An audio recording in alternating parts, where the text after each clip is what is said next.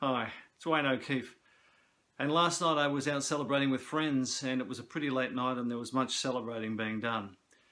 And in the course of the evening, after much celebrating, we got talking about fishing and one of my mates who has only ever been fishing twice in his life and never caught a thing challenged me to, to catch a fish in an hour, which I didn't think was too difficult a task. And because I seemed to be smirking when he when I said that, um, well, he then changed a little bit and he said it had to be a freshwater fish, and it had to be within half an hour of my house, and I had to catch it in an hour. So that started to worry me a little bit, but because I'd been so well and truly celebrated, I accepted the challenge.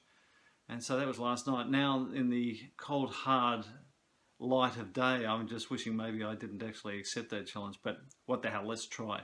Anyway, it's um, it's fairly early morning. What I'm going to do is I'm going to go to a lake that has trout in it. It also has redfin and a couple of other species. But what I've got to do is that most of the species, except for the trout, are going to be quiet because it's midwinter. So uh, they won't be they won't be searching for food too much, but the trout will. So I'm going to have to use two trout setups. So one of them will be a standard a standard uh, worm bait with a burley cage uh, setup. So I'll have a, um, a quiver tip rod with that. And if you've seen my previous uh, videos about trout fishing, you would have seen I've caught them that way.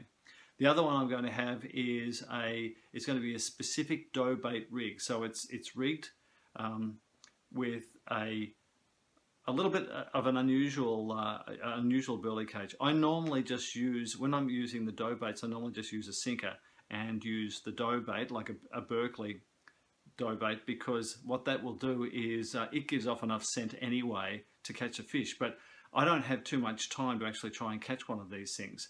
So what I'll do is I'll use this little burley cage here which is in line. Uh, it, I'll mold the burley around that. So you'll get a, a piece of um, burley around about the size of a golf ball around that.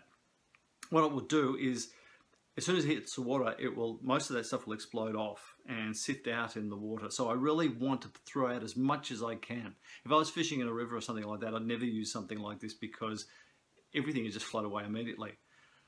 But uh, this is an English style, what they call method feeder, and uh, over there they'd use a, a much stickier uh, burley, which when they wrap it around that stays hard, and most of that will stay on until it actually hits bottom.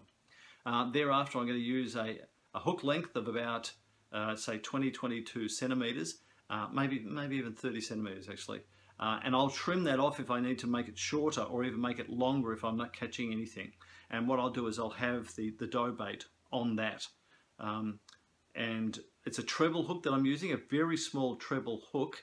It's They look to be about size 12 on this, those, those hooks. And with those hooks, uh, I like treble hooks when I'm using the, the dough bait because you can mold it, round it into a bubble or a teardrop shape that the fish seem to like.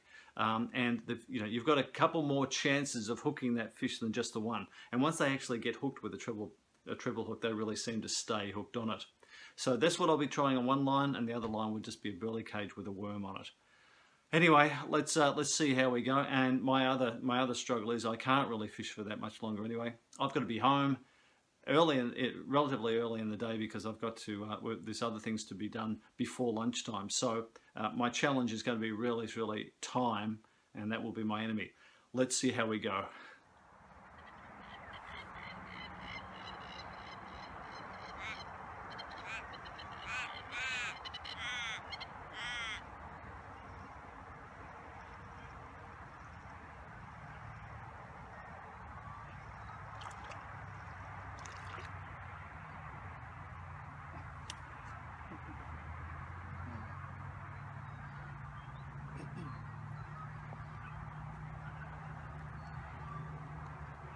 First catch, a little redfin. What I'd done is I'd cast in and I hadn't got any action for, you know, for about five or six minutes. I just twitched the bait, took it straight away. So that's a, something you can do. Just a couple of winds of your reel and uh, you might get a fish that's just waiting there but not striking because it's waiting for the, the bait to move.